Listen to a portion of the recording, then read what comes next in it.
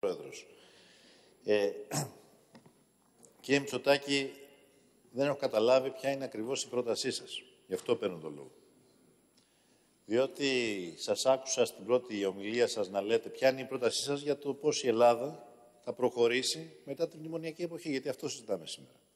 Και δεν λέω εγώ τώρα να πιάσουμε τις λεπτομέρειες, να δούμε τις απόψεις μας για το παραγωγικό μοντέλο. Λέμε το πλαίσιο, το βασικό πλαίσιο. Σας άκουσα στην πρωτομιλία σας να λέτε ότι η έξοδος στις αγορές είναι ναρκοπαίδιο.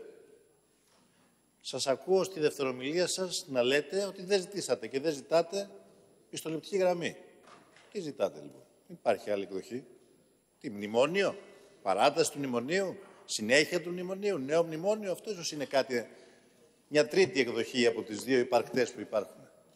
Από τις δύο υπαρκτές εναλλακτικές εκδοχές. Μένω με αυτή την απορία από την τοποθέτησή σας. Γι' αυτό παίρνω το λόγο. Δεύτερον, ε, αναφερθήκατε στις ε, τιμές, στα spreads και στη διακύμανση των ε, δεκαετών ομολόγων. Και μάλιστα κάνατε και τον αστεϊσμό σε σχέση με το πίνακα το οποίο κατέθεσε στα πρακτικά, όπου πράγματι τι φαίνεται εκεί; Φαίνεται η αποτυχία του δεύτερου μνημονίου, γιατί πράγματι υπήρχε μια αποκλιμάκωση κατά τη διάρκεια της υλοποίησης της πρώτης, της δεύτερης, της τρίτης και της τέταρτης αξιολόγησης του δευτέρου προγράμματος, η περιβόητη πέμπτη δεν έκλεισε ποτέ. Και πριν κλείσει, ο κ. Σαμαράς πήγε στις αγορές. Καθίστε να ακούσετε, πολύ πριν, μην, ε, μην...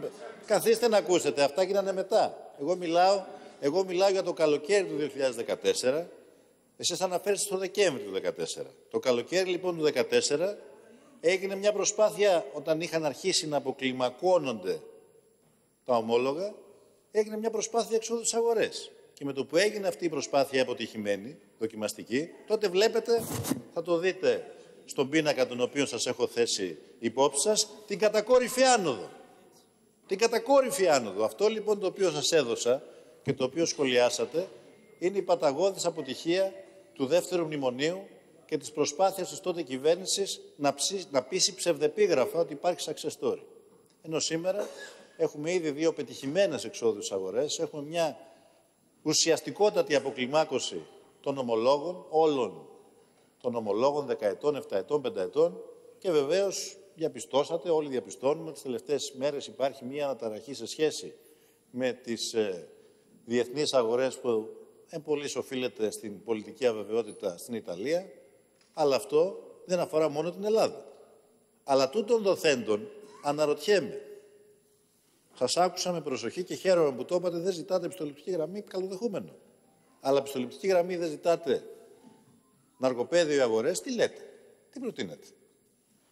Το μόνο που κατάλαβα καλά ότι προτείνετε είναι να μην προχωρήσουμε σε προσλήψεις και ενδεχομένως το κατά τη γνώμη σας πλεονάζον προσωπικό να φεύγει Μπας και μειώσουμε λίγο τους φορολογικούς συντελεστές. Διαφωνούμε με αυτή την άποψη. Πιστεύουμε ότι η μείωση φορολογικών συντελεστών πρέπει να έρθει.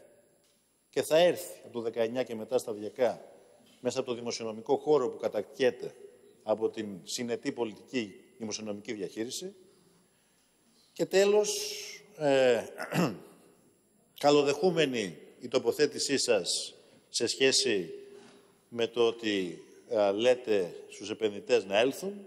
Εγώ αναφέρθηκα σε μια συγκεκριμένη παρέμβασή σας, σε εκδήλωση του Συνδέσμου Έλλων Βιομηχάνων, στον οποίο, ε, στην οποία παρέμβασή σας είπατε, και μάλιστα αναφέρθηκε και ο Αντιπρόεδρος σε άλλη συζήτηση εδώ στη Βουλή, είπατε ε, ότι ε, να φέρουν τα χρήματά τους επενδυτές στην Ελλάδα, να φέρουν τα χρήματά τους όταν αποκατασταθεί η πολιτική σταθερότητα.